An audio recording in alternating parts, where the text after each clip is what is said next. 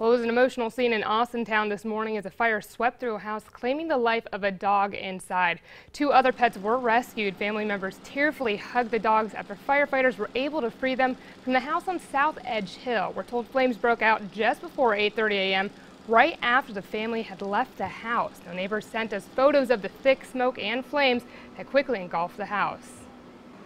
I pulled in, I tried to back up. When I backed up and get out, I was going to go across the street to see if anybody was in the house.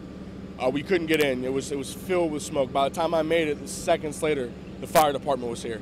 Within seconds, they were here. Firefighters say they're not sure how or where the flames started, but add the home's all-wood construction allowed the fire to spread quickly. While the one dog did perish, no one else was hurt.